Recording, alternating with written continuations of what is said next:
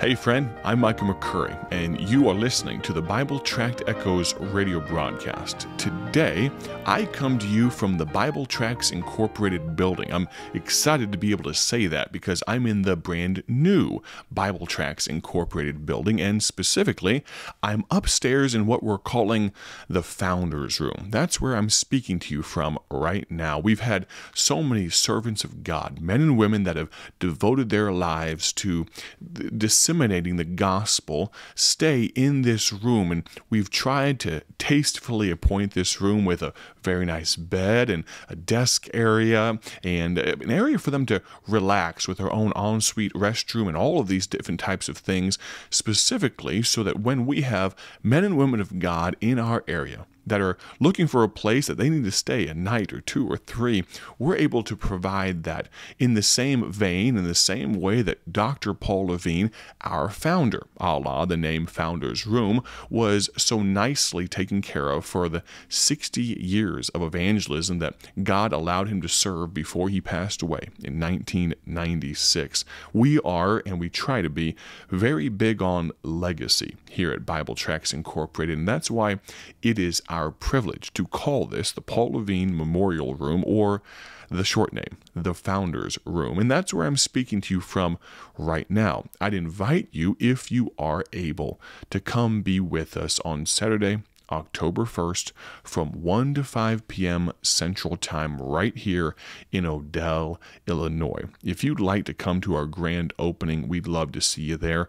You can email me for more information or to RSVP at grand opening at BibleTractsInc.org. All one word, that's the email address, grand opening at BibleTractsInc.org. In just a moment, we are going to dive into our Bibles.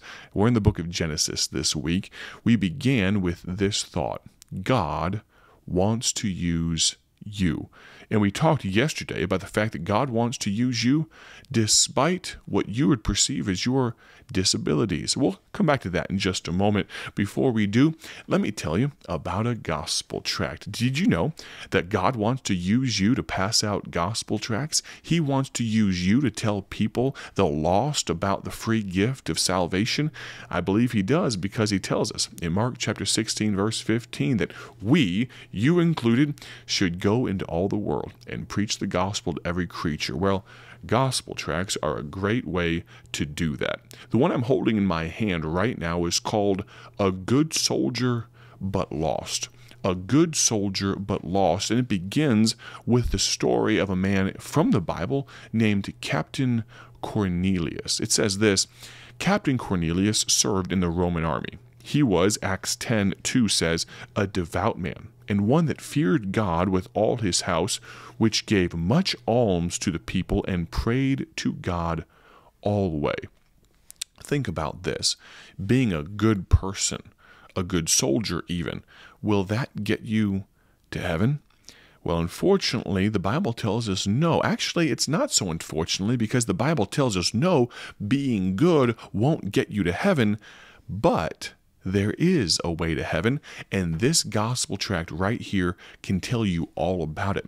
You can get it just like all of our gospel tracts for free at BibleTractsInc.org. I'd love to invite you to go to our website, BibleTractsInc.org today. If you've never visited our website, we encourage you to do so. It's amazing.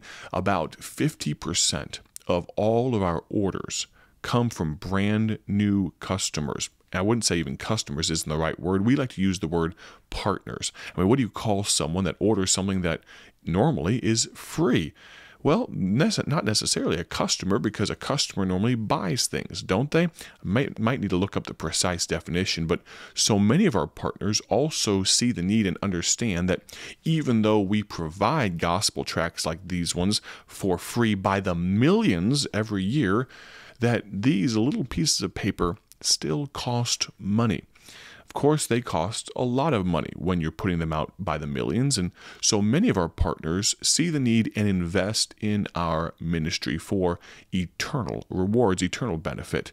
Now, this is not a health, wealth, and prosperity plea by any stretch of the imagination, but I will say this if the Lord does lead you to partner with our ministry in a financial way, we would greatly appreciate it. And the cause of Christ, I truly believe, would be furthered. You can do that by going to our website and just tapping the donate tab. And of course, if the Lord led you, a specific prayer of mine is I'm praying, I won't give you the number right now, but I'm praying for a certain number of monthly givers to see the need. Not just someone that will come and give one time, though we greatly appreciate that, but I'm praying for a certain number of people that will say, you know what, I'd like to give once a month. And maybe that number is $5, maybe it's 25, maybe it's 50.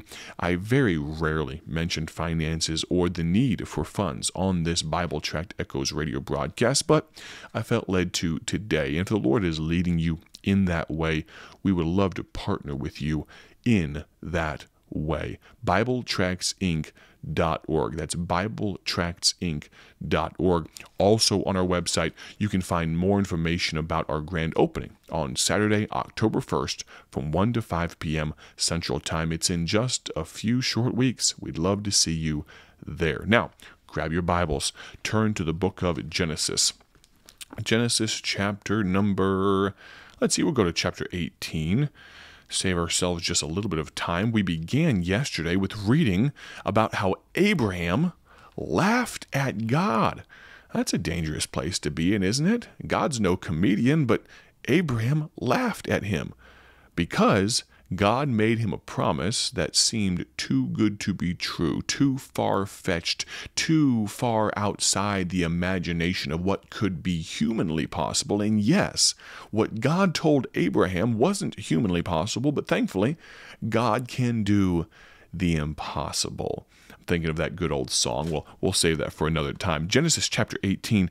Let's look here, verse number 9. God is talking to Abraham, and they said unto him, Where is Sarah thy wife? And he said, Abraham said, Behold, in the tent. And he said, I will certainly return unto thee, according to the time of life. And lo, Sarah thy wife shall have a son. Now keep in mind here that Abraham is 100 years old and Sarah is 90 years old. In our day, it's uh, very rare for women to have children past even the time of life of being 40 years old, 45 years old. That, that's a little bit of a medical marvel these days. And Sarah is double that age. She's 90 years old. And God says, You're going to have a son. Well, continue on. And Sarah heard it in the tent door, which was behind him. Now Abraham and Sarah were old and well stricken in age. I just gave you their ages, and it ceased to be with Sarah after the manner of woman, women, meaning that by human standards she should not have been able to have children. Verse 12 Therefore Sarah laughed within herself, saying, After I am waxed old, shall I have pleasure, my Lord, being old also? And the Lord said unto Abraham, Wherefore did Sarah laugh, saying, Surely I of a surety bear a child. Shall, uh, shall I of a surety bear a child which am old? And then get this good verse, chapter 14. Is anything too hard for the Lord? I think again of that song. Is anything too hard for God? Friend, there's nothing too hard for God. And despite, as we began with yesterday, despite your disability, God can use you. Now, it may be and likely will be in a different way than Abraham and Sarah were used. But can I say, regardless of all that, God does want to use you? I'm reminded of the story of, I believe it was D.L. Moody. Of course, he pastored and preached in the Chicagoland area many years ago, and it was shortly after the Chicago fire that the church, the church there that he pastored, burnt physically to the ground. Thankfully, uh, many of his church members were safe, and there were not there's not much loss of life among his church members. But regardless, they needed to rebuild the building, and so the leadership of the church, the trustees, deacons, what have you, they impressed upon Mr. Moody. He said, take "Use this opportunity to take a sabbatical. We'll rebuild it. We'll rebuild the church. You come back, get refreshed. I'm sure this is a very stressful time for you, Mr. Moody. You why don't you go overseas? Go over to England, and why don't you uh, just spend some time of rest there?" And so he did. But you know how news travels, and D.L. Moody was a popular figure, a famous figure. And so he descended down the gangplank from that ship that he had been on for a few days, traveling across England. And there met him a pastor and some deacons from a church there in England. And they impressed upon him, they had heard that he was coming. And even though he just wanted to relax, they asked him would you mind preaching for us? Now realize Mr. Moody just wanted to relax. He wanted to hear some good preaching. He was not there to preach, but finally he succumbed and said, Yes, I will preach for you. Even though I don't really want to, I will do so. And the Saturday the Sunday came and he preached Sunday morning, and it was one of the most dead services Mr. Moody had ever had the displeasure of preaching. It was absolutely atrocious. It was like talking to bumps on a log. About four, five hundred people there, but it seemed like the Spirit of God was nowhere near that place. He wasn't within miles of that church, and he was disheartened. Mr. Moody was. He was determined, I'm not preaching again eh, tonight, and so he tried to slip out the side door, but they caught him before he could get away and said, Mr. Moody, please, please preach for us tonight. Uh, you obliged, you obligated yourself. You said you'd preach all day this Sunday. Would you please preach for us? And he said, I really don't want to. But since you've asked me and you've been so kind to me, I, yes, I will. And so that evening came, and he preached. And the Spirit of God blew in in an incredible way, in a way that Mr. Moody had very rarely seen. People sitting on the edges of their pews, hanging on every word. And when he came to the close of the service, he asked the question God forbid something were to happen to you. Do you know for sure where you'd go? Would you slip off into eternity, into eternal damnation? Would you go to hell?